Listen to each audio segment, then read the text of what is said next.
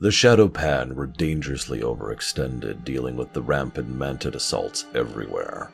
The heroes quickly took it upon themselves to choose the most beleaguered front and focus their power there.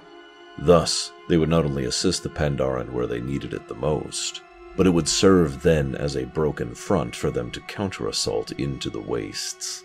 The Gate of the Setting Sun was the site of not only the largest surviving Mantid invasion, but reinforced with yet another colossal Kunchong. It would do.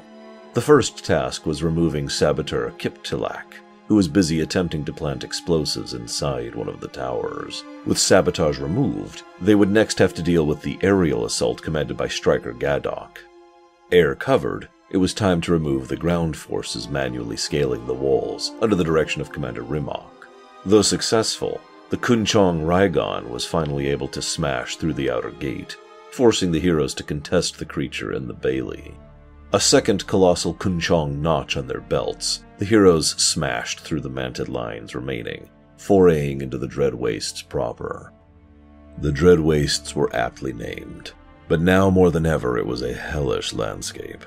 Fear's energies seeped into almost every corner of the tortured land choking and killing the Kypari trees the Mantid both revered and required.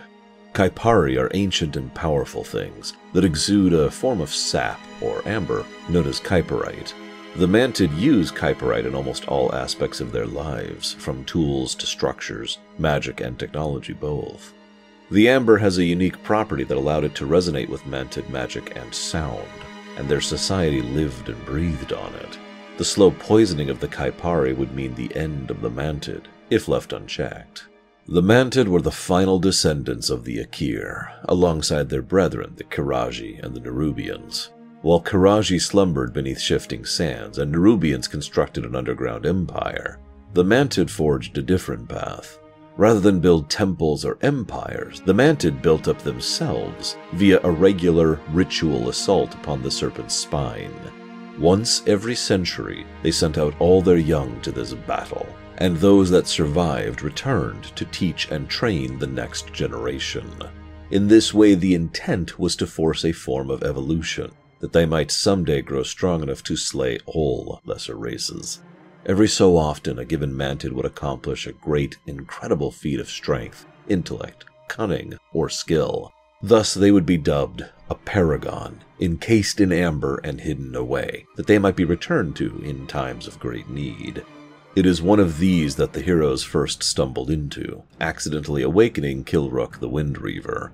Heroes assisted in recovery and journeyed with him to Klaxxi'vess, where they intended to turn upon the heroes, something that would have gone quite badly for them. But, after some thought, instead chose to work with them against common foe. You see, Klaxxi'vess was home to the priests of the Mantid, the Klaxxi. The Klaxxi were fervent believers in their self improvement, as well as their holy mission to destroy all Titan forged races. And what Fear was doing to their Empress was not only contrary to this, but would destroy the Mantid utterly in quite short order. Thus, heroes and Klaxxi united against Fear. The heroes, dubbed the Wakeners by the Klaxxi, journeyed across the Dread Wastes seeking other paragons. They earned a strange measure of respect from the Klaxxi in general, and the Paragons in particular, and with their assistance they were able to make inroads against Fear. The problem was, Fear was very well entrenched. Unlike almost every other Prime Sha the heroes had thus far encountered, Fear had spent weeks untouched and unhindered as it spread its influence through the wastes. Half the central palace was bathed in its energies, and rare was the mantid who could resist its scream. While it would set back the Mantid's goal of self improvement by centuries, the Klaxxi concluded that eradication was the only cure. The greater bulk of Mantid forces were obliterated, from the outermost edges to the central defenders, until only those holding Mantives itself remained. Thus did the heroes descend into the heart of fear. Imperial Vizier Zorlok, the voice of the Empress, used his skill in sound magic to inspire and control his fellow Mantid on behalf of his Empress, regardless of what rested within her. Blade Lord Ta'yak is an ancient survivor of one of the Century Swarms, a master of discovering his opponent's weaknesses and knowing when to strike.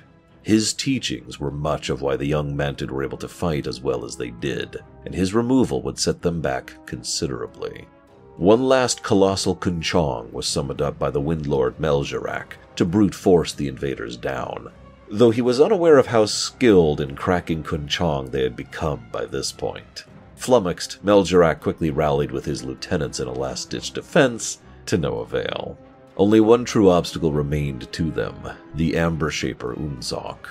Un'sok had been a brilliant alchemist, one of the most skilled Amber Shapers in generations, but such proximity to fear drove him beyond acceptability, and his own experiments were his downfall.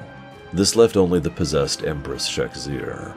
The Empress was little more than a puppet, unable to even think for herself anymore, fear corrupting and twisting her very form. When destroyed, fear was ejected, and, like hatred before it, fled rather than confront the heroes directly. Thankfully, by this point, they had plenty of resources at their disposal to track the beast to the terrace of the Endless Spring, the very site where Shaohao had performed his ritual to shroud Pandaria in mists and became the Loa of his land. Fear had barely managed any influence by the time the heroes arrived, still stuck in combat with the serpent Tsulong, and having just turned the three protectors of the spring. As the protectors were put down, Tsulong succumbed, but thanks to the hero's effort, was cleansed of his fear. This left Lei Shi, a friendly water spirit, utterly powerless before the terror that drowned her. But with her cleansing, she was able to remove the barrier over fear itself. Fear was no slouch, and put up a substantially harder fight than all the other Prime Sha to date, dragging them into the Dread Expanse before, finally, being destroyed. With this, six Prime Sha were gone, and much of Pandaria was able to breathe a sigh of relief it had not felt in ten millennia. And, as thunder slept beneath Kun Lai, the Zul Confederacy at last made its way to Pandaria's waiting shores.